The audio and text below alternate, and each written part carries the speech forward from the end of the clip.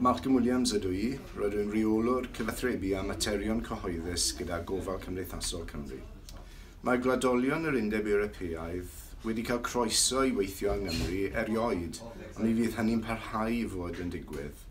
Rydym yn gwerthfawrogi'n fawr y cyfraniad pwysig mae'n dyna i wneud i helpu ni ddarparu gwasanaethau gofal cymdeithasol a dderchog ac effeithiol yma yng Nghymru. Um, mae status sefydlog ar gael i dinasyddion yr Undeb Ewropeaidd a'i teuluoedd sy'n byw yn y Deunas Unedig ar y foment. Gallant wneud cais nawr a bydd hynny'n golygu y gallant barhau i weithio a byw yma yng Nghymru ar ôl Brexit.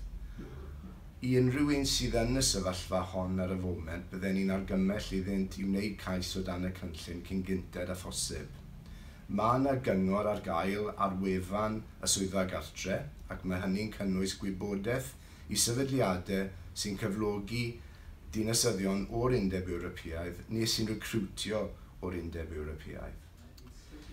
Os bydd Brexit heb gytundeb, rydym yn edrych y bydd cymwysterau'r Undeb Ewropeaidd a chymwysterau ryngwladol yn barhau i cael eu cydnabod am gyfnod penodol rydym wedi bod yn gweithio gyda Llywodraeth Cymru a Llywodraeth y Deunas Unedig i ddatblygu deddfwriaeth sydd yn mynd i alluogi hyn i ddigwydd.